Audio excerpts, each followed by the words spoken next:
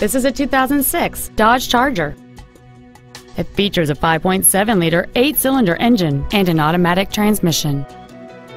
Its top features include a sunroof, heated seats, a navigation system, cruise control, a CD player, and this vehicle has fewer than 36,000 miles on the odometer.